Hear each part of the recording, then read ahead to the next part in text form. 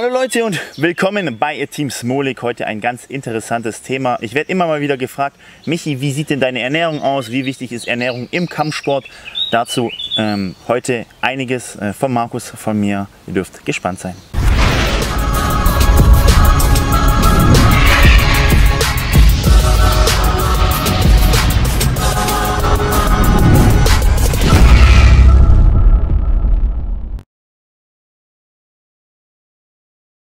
Wie bereits angekündigt geht es heute um Ernährung, ganz, ganz heißes Thema. Da gibt es ja sehr viele Meinungen. Da jeder hat irgendwie eine andere Meinung, jeder hat irgendwie einen anderen Plan und es gibt so viele Geheimrezepte, aber irgendwie funktioniert doch nichts, aber irgendwie doch alles, ich weiß auch nicht. Also im Kampfsport spielt es eine sehr untergeordnete Rolle.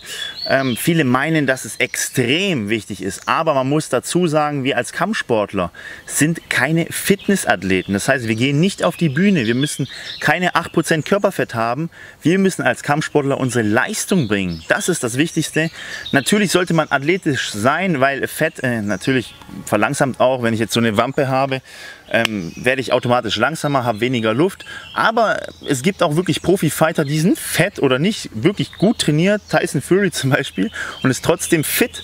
Ja, also da muss man wirklich unterscheiden. Der Markus macht auch immer eine sehr, sehr krasse Diät. Er fährt ein sehr hohes Kaloriendefizit.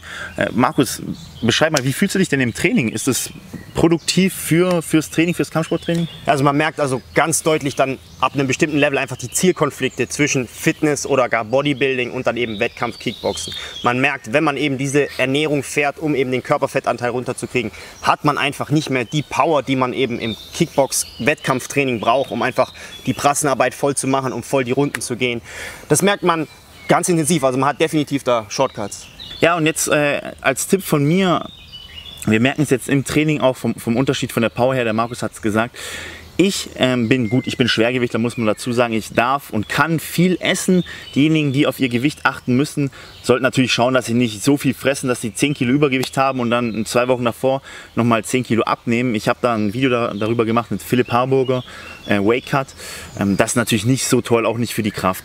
Aber man sollte als Kampfsportler, so mache ich zumindest und das einfach nur als Tipp von mir an euch, Ernährt euch gesund, schraubt Zucker runter, ähm, isst aber gesunde Sachen, aber nicht, nicht zu wenig. Ja, ich esse auch Nudeln, ich esse auch Reis, ich esse aber auch mal Scheißkram, ja. Ich esse auch mal Blödsinn, und, aber nach einem harten Training ist das in Ordnung. Wenn man sich jeden Tag Fastfood reinballert, ganz klar, äh, auch von den Nährwerten her ist das natürlich Quatsch. Jeden Tag Süßigkeiten, totaler Blödsinn. Aber so einen gesunden Mix und wirklich Zucker versuche ich wirklich weitgehend zu vermeiden. Mache ich auch nicht immer. Markus ist da sehr diszipliniert, ähm, weil er da sehr drauf schaut. Aber ich bin wirklich Leistungsathlet im Profibereich. Und deswegen sage ich auch mal nach zwei harten Trainingseinheiten, so wie heute, ich trinke auch mal Arizona Eistee und ähm, kein Wasser oder sowas. Und deswegen, ich lege es euch ans Herz, schaut auf eure Ernährung als Kampfsportler, gesund ernähren, ja, meinetwegen auch frisch ernähren, äh, keine vielen Fertigprodukte nehmen, aber jetzt nicht abwiegen, nicht unbedingt einen Ernährungsplan krassen machen und sich da durchquälen und ihr kriegt keine Leistung dann im, im Training, sondern schaut drauf, wenn ihr im Spiegel merkt, hey, ich fühle mich unwohl, dann äh, schraubt ihr vielleicht ein bisschen weniger runter. Aber wenn ihr im Training merkt, dass ihr keine Power mehr habt, dann schraubt bitte das Essen wieder hoch, weil es bringt euch im Kampfsport nicht weiter. Seid euch auch bitte immer im Klaren darüber, ihr habt pro Tag nur ein begrenztes Kontingent an Willenskraft zur Verfügung. Und wenn ihr wirklich ein Ziel habt, wo ihr sagt, das ist mein Traum, das ist mein Hauptfokus, dann steckt alles in diesen Hauptfokus rein und dann verschwendet eure Energie nicht, indem ihr ein bisschen da eben einsetzt, auf meine Ernährung achten, ein bisschen da einsetzt, viel lernen, ein bisschen da einsetzt, viel Training, sondern steckt das wirklich alles all in or nothing in eine Tätigkeit. Bei Michi ist das Training. Und dann kommen bestimmte Aspekte eben auch ein bisschen kürzer. Deswegen viele sagen immer, hey Michi, du hast ja gar kein Sixpack. Ja, weil er eben die Zeit, die er in sein Sixpack investieren würde, in sein Training investiert. Ja, Im Englischen sagt man, you have to give up something in order to get something. Hier ist es auch so, man muss eben was opfern, um eben wirklich in einem Bereich der Beste sein zu können. Sixpack ist ein gutes äh, Stichwort. Und zwar, Markus hat es gerade schön erwähnt, man muss Prioritäten setzen. Momentan ist meine Priorität oder so wie auch oft einfach das Kämpfen und Gewinnen. Aber nach dem 1.7., nach, meinem WM, nach meiner WM-Titelverteidigung auf Sat 1, ähm, haben wir ein Projekt geplant. Und zwar ein Sixpack-Projekt. Da wird meine Priorität sein, Sixpack zu äh, shredden. Ja? Das heißt, ich werde euch zeigen, dass ich das auch kann und dass es auch geht, wenn ich die Prio darauf setze. Und äh, wir werden das auch dokumentieren mit äh, Videomaterial. Und wenn ihr da Bock drauf habt, dann werden wir euch das auch ja, für einen geringen Betrag, sage ich mal, äh, zusammenstellen. So eine, Ernährung, so eine Ernährungsweise, wo dann wirklich auch ein bisschen mehr auf Fitness gezielt ist. Jetzt nicht unbedingt auf Kampfsport, kann man im Kampfsport natürlich auch verwenden.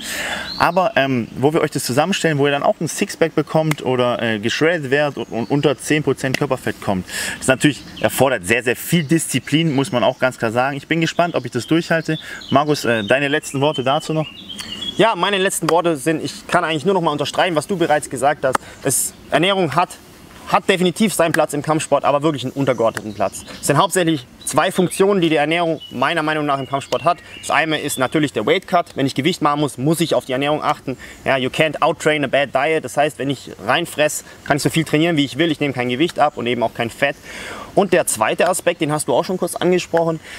Ja, es geht zwar nicht primär um den ästhetischen Aspekt im, im äh, Kampfsport. Dennoch bringt es mir einen Vorteil, wenn ich viel Körpermasse habe, mit der ich was anfangen kann, also Muskulatur, und wenig, die eben einfach nur rumliegt, wie zum Beispiel Fett, ja, und die keine große Funktion hat, außer vielleicht mich zu panzern.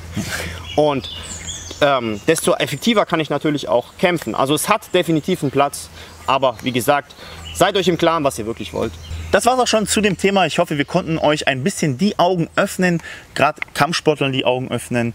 Und ähm, wenn ihr wirklich Bock aber habt auf einen Ernährungsplan, wie ihr euch richtig ernährt, ähm, Ernährungsweisen lernen und ein Sixpack zu bekommen, dann wenn ihr Bock auf so ein Produkt habt von uns als Profi, ich meine, wir kennen uns in der Ernährung langsam auch ein bisschen aus, wir machen das auch schon jahrelang, dann schreibt es doch unten in den Kommentaren, ja, Hashtag Ernährung, dann wissen wir, ihr habt Bock auf so einen Plan und äh, da stellen wir auf jeden Fall nach meinem Fight irgendwann mal was für euch zusammen. Ansonsten war es das mit dem Video, äh, unser Buch, unser Online-Trainingsprogramm, unser Merch, hier das T-Shirt, alles unten verlinkt und Facebook, Instagram, Snapchat auch unten verlinkt. Danke Markus und das war Markus, ich habe es gerade gesagt, Markus und mich. Ich komme hier schon wieder ins Schwitzen, es ist zu heiß. Markus und Michael Smolik hauen rein. Jetzt gehen wir was essen, oder? Hey Markus, ich habe mal eine Frage. Warum hast du eigentlich heute drei Cheeseburger gegessen? Ja, ich habe einfach Hunger, aber mach, habe ich Kamera aus, oder? Ja, Kamera ist. Oh fuck, die ist ja noch an.